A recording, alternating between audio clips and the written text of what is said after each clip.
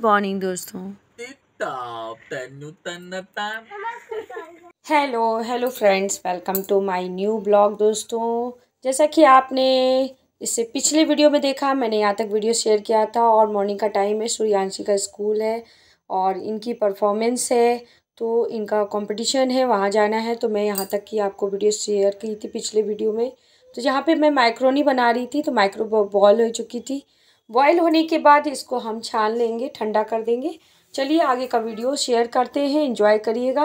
Video पसंद आए तो लाइक, कमेंट करिएगा और वीडियो को बड़े प्यार से और अंत तक देखिएगा, क्योंकि इस वीडियो में मैं पूरा का पूरा अपनी बेटी का स्कूल परफॉर्मेंस भी शेयर करूँगी।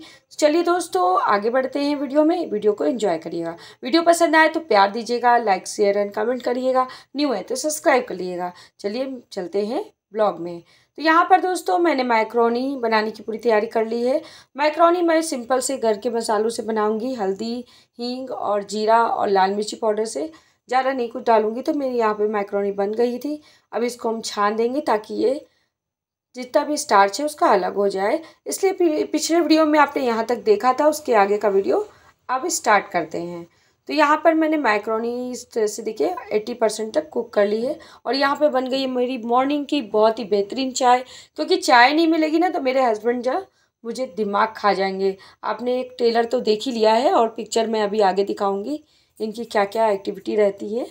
तो चलिए, पहले सबसे पहले हस्बैंड को चाय दे दें ताकि उनका मुँह बंद हो जाए मैं अपना काम आसानी से कर सकूँ। क्योंकि अगर मेरा, इनका मुँह चलेगा तो मेरे हाथ पैर डिस्टर्ब हो जाते हैं। तो इनको चाय नहीं मिलेगी ना तो ये बहुत आफत मचाते हैं। इनको मैंने चाय दे दी है चाय, और यहाँ पे देखिए सिल्वर फ़ाइल खोल रही है सूर्यांशी तो मैंने मना किया है। तो यहाँ पर पूर्ति गुस्सा, सूर्यांशी गुस्सा होकर के चली गई हैं। तो मैंने इनको भगाया हमने कहा कट जाएगा हाथ, सिल्वर फ़ाइल में आयरन होता है, आयरन होता है और कट जाएँगी। तो यहाँ पर देख सकते हैं दोस्तों, मैंने ऑयल गर्म किया, हल्दी, हींग और जीरा डाल करके इस तरह से मैक्रोनी डाल दिए मैक्रोनी को अच्छे से चला लेंगे। चलाने के बाद इसमें हम नमक और मिर्ची पाउडर डालेंगे और थोड़ा सा टमाटो सॉस। चलिए जल्दी जल्दी से बना लेते हैं क्योंकि लेट नहीं होना चाहिए, जल्दी पहुँचे। इनकी बस है वहाँ पर स्कूल से।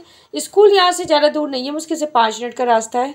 तो मैंने इसमें नमक, हल्दी और ये टमाटो, प्यूरी जो टमाटो केचप आता है ना किसान का, वो डाल करके इसको चला देंगे।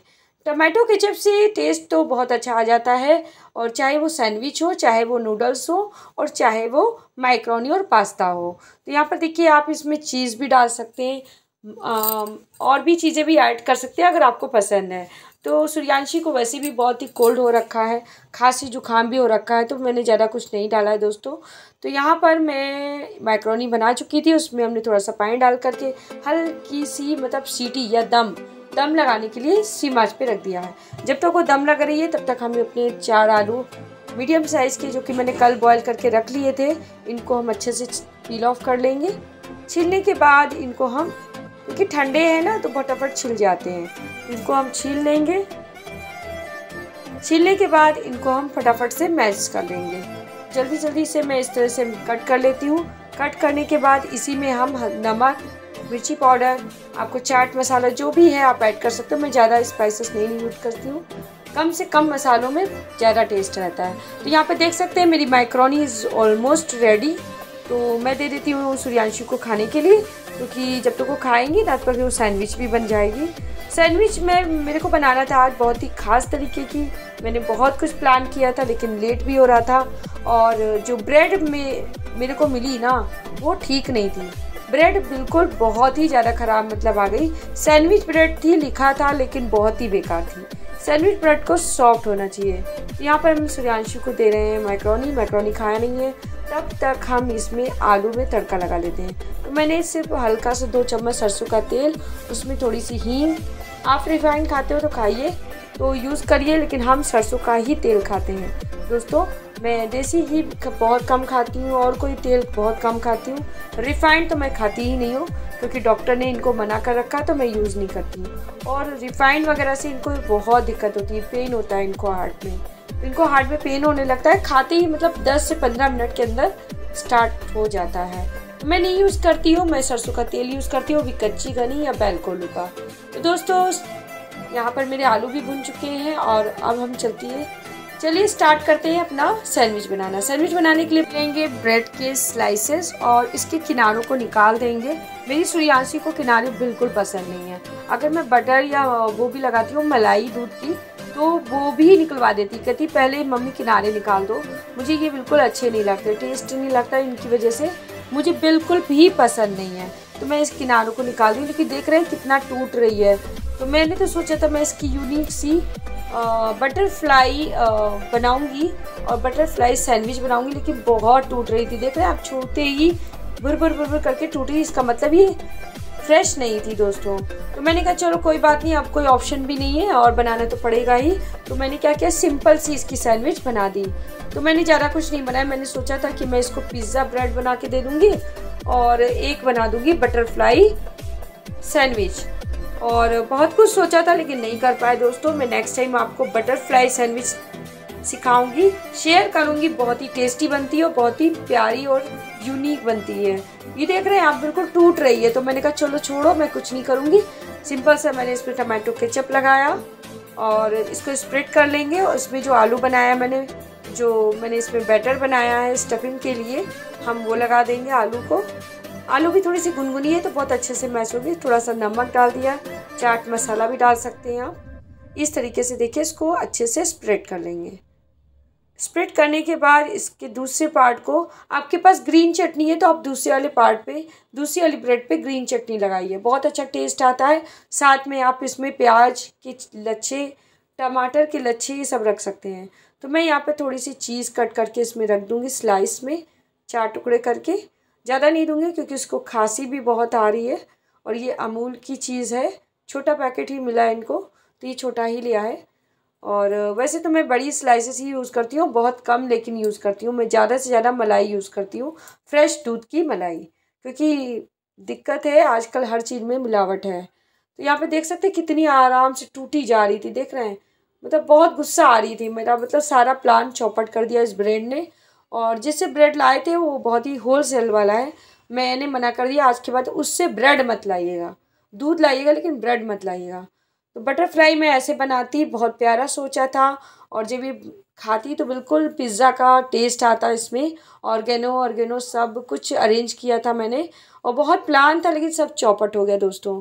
तो मैं यहाँ पर देखिए इस तरह से बना ली हूँ। और बना करके सूर्यांशी ने कहा, कोई बात नहीं, मम्मा, फिर किसी दिन बना देना। अभी लेट हो रहा है, आप परेशान मत हो। तो मैंने सिंपल से यहाँ पर देखिए, इस तरह से स्लाइसेस करके और इस तरह से सैंडविच छोटे छोटे पार्ट में, क्योंकि इसके टिफ़िन में भी रखना है तो मैंने इस तरह से डिज़ाइन में बना दिए थे। कि थोड़ा सा यूनिक और अच्छा भी लगना चाहिए, बच्चों को अच्छा लगता है तो वो खाते भी इंटरेस्ट लेके हैं। और वैसे भी दो दिन से इसकी तबीयत बहुत ख़राब है दोस्तों। और मतलब देखिए, इतने दिनों से तबीयत ठीक थी जब इसको परफॉर्म करना था, तभी इसकी तबीयत बिगड़ी। कल दो बार डॉक्टर के पास गए हैं। तब जाके वो इतना ज़्यादा ठीक हो पाई है। इम्प्रूवमेंट है, बहुत है। करीब सिक्सटी परसेंट इम्प्रूवमेंट है। तो चलिए दोस्तों आई होप सो कि हमारी बेटी अच्छे से परफॉर्म कर ले, इस, और अच्छे से सब कुछ हो जाए। इसी कामना के साथ वीडियो को आगे बढ़ाते हैं। तो देखिए दोस्तों, हमारी सैंडविच तैयार हो गया अब ऑर्गेनो ऊपर से हल्का हल्का स्प्रिट कर दे रहे हैं। ज़्यादा नहीं डालेंगे क्योंकि इन सब चीज़ों से खांसी बहुत आती है और गहनों में भी लहसुन वगैरह होता है, उसी की फ्रेगरेंस होती है। तो मेरे यहाँ लहसुन तो वैसे भी नहीं खाया जाता, मैं बहुत कम पसंद करती हूँ। सूर्यांशी को थोड़ा पसंद है और गहनों का टेस्ट उसको पसंद है। चिली फ्लेक्स का भी लेकिन नुकसान करता है, खांसी बहुत आ रही है। इनको कोई ऐसी चीज़ नहीं देंगे ताकि इनको नुकसान करे। तो मैं यहाँ सिंपल सी देख सकते हैं, मुझे बहुत बेकार लग रहा था मतलब क्या बोलूँ, मुझे बहुत ही बैड फीलिंग हो रही थी। मैं क्या सोची थी और क्या हो गया मेरा प्लान चौपट हो गया। तो चलिए कोई बात नहीं, चलिए इस सैंडविच को हम अच्छे से पैक कर देते हैं और सूर्यांशी के खाने के लिए भी एक सैंडविच बना दूँगी मैं। तो यहाँ पर देख लीजिए, हमने रख दी है सारी सैंडविचेस को। अच्छे से रैप कर देंगे सिल्वर फ़ाइल में, ताकि ये थोड़ी सी गुनगुनी रहे। क्योंकि अब हल्का हल्का सा मौसम चेंज हो गया है दोस्तों, और अभी तो एक फेस्टिवल आने वाला है, अनंत चतुर्दशी का। तो उस दिन से भी काफ़ी बारिश वारिश हो रही है तो मौसम चेंज हो जाएगा। अभी चेंज हो गया है पंखे वगैरह कम कर दिए हैं। और यहाँ पे सूर्यांशी को बहुत ज़्यादा टेस्टी लग रहा था ये भी। तो उसका मुँह भी जल गया। तो मैंने कहा, कोई बात नहीं, चलो तो धीरे धीरे खा लेना। तो उसने कहा, मैं एप्पल खा लेती हूँ जब तक। मम्मी, ये रख दीजिए, मैं नहीं खाऊँगी, मेरी इच्छा नहीं है। तो मैंने कहा, चलो एक बाइट ले लो और एप्पल खा लो, फिर मैं दवा खिला देती हूँ।